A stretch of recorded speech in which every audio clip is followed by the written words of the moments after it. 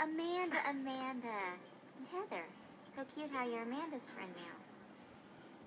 Your solo was so beautiful, oh, darling. Oh, yes.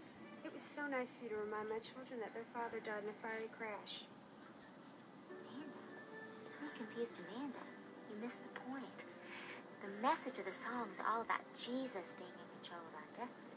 In your case, it's just about allowing the Lord to take your wheel and twist it. He'll steer you where you should go. Out of Dallas, out of Texas, even. Don't fight it. Just go.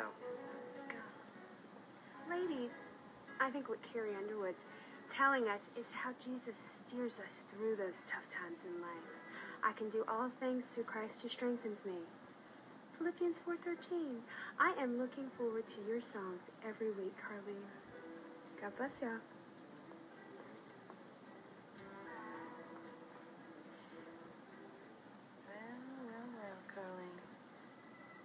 Amanda just out Christianed you.